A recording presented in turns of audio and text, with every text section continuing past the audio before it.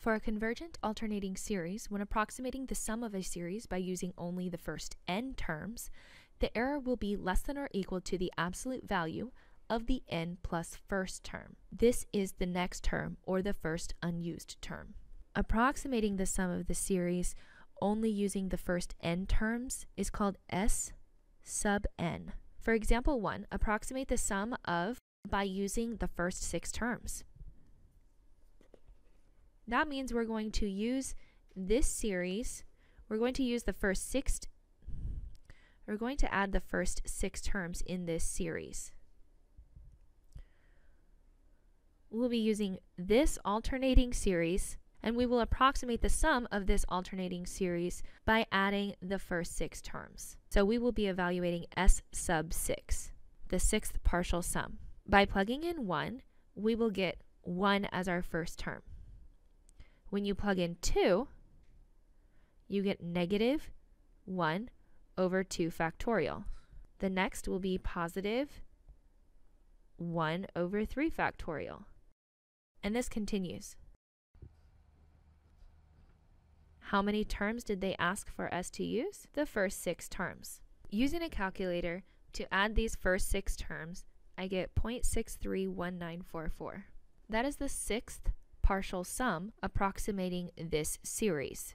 In example 2, they're asking us to find the upper bound for the remainder for the approximation from example 1. They're actually asking us how far off from the actual infinite sum is this sixth partial sum? For a convergent alternating series, the absolute value of each term must be less than or equal to the absolute value of the term before. 1 half is less than 1. 1 over 6 is less than 1 half. 1 over 24 is less than 1 over 6, and so on. Let's take a look at the next four terms in the series.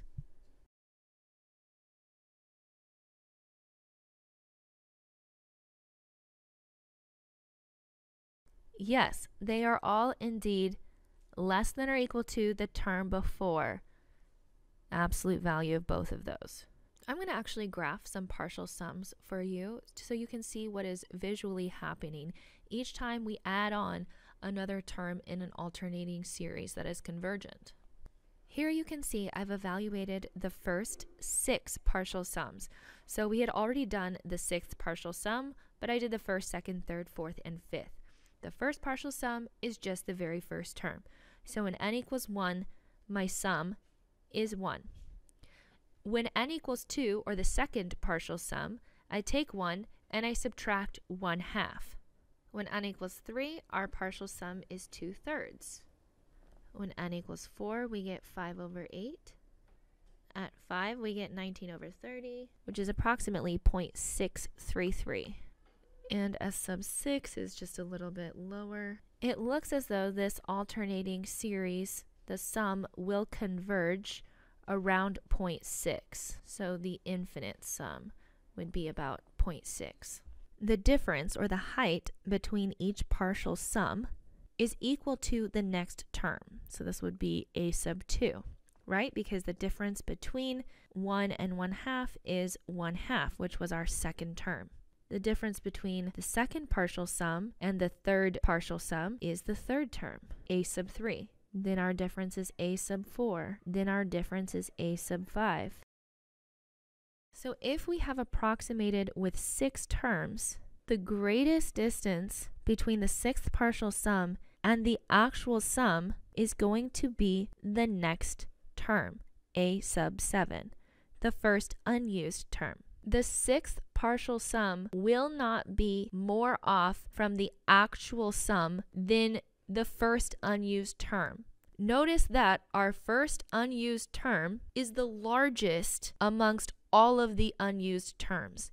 And if this is a convergent alternating series, that is how a convergent alternating series behaves. The limit of the non alternating part, or the a sub n, must equal zero for an alternating series to converge. Therefore, the first unused term is the largest term out of all of the unused terms.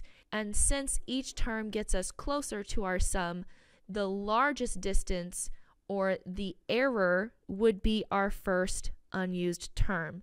That makes our alternating series remainder less than or equal to the first unused term.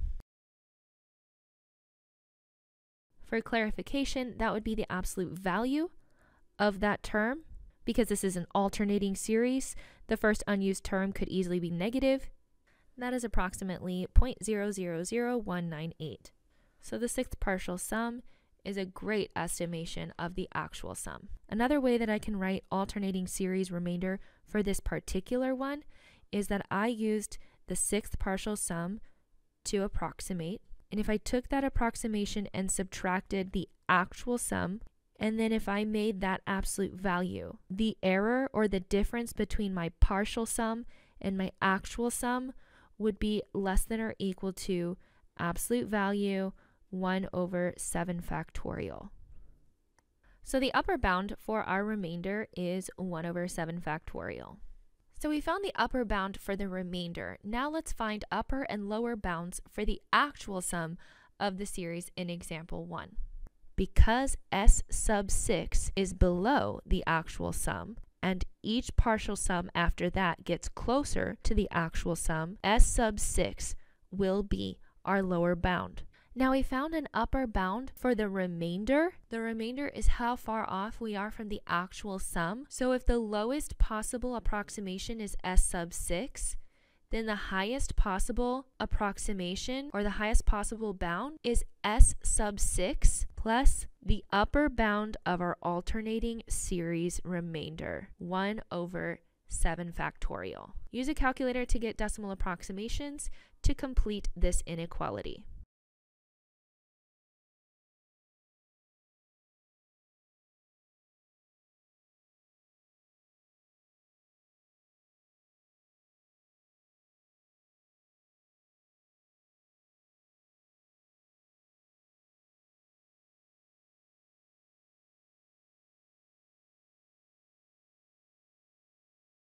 This means that the actual sum is between 0.613944 and 0.6321429.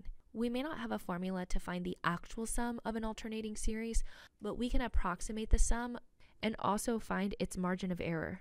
For number four, we're going to approximate this infinite series with an error of less than 0.001. So I want the alternating series remainder to be less than or equal to 1 over 1000. Often, the way that AP will phrase this is they'll ask for what is the fewest number of terms you would need in order to make an approximation for which the error is less than or equal to 1 over 1000. Let's begin by looking at the first few terms. Plug in 0, 1, 2, 3.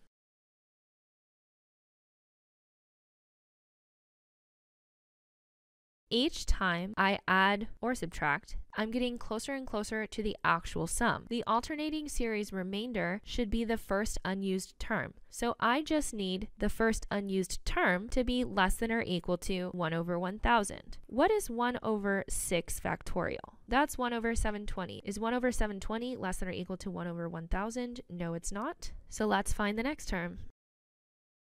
Let's see, what is the absolute value of 1 over 8 factorial? 1 over 8 factorial is 1 over 40,320 is definitely less than or equal to 1 over 1,000. That's going to make 1 over 8 factorial, or 1 over 40,320, our first unused term because it is less than 1 over 1000. So how many terms did it take for us to approximate this sum with an error of less than 0.001?